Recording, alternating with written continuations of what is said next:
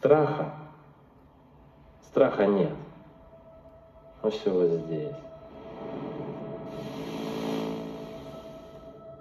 Я что, бабай, что ли, чтобы запугивать оппонентам? Мне вообще это не, ни к чему, запугать оппонента.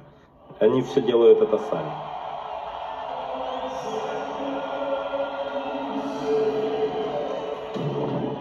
Страх, наверное, у всех людей есть, э, абсолютно у всех. Есть, ну, если ты больной человек, то страха не будет. Боятся оба человека, которые выходят. То есть это нормально, это подсознание э, организма, которое хочет э, сохранить.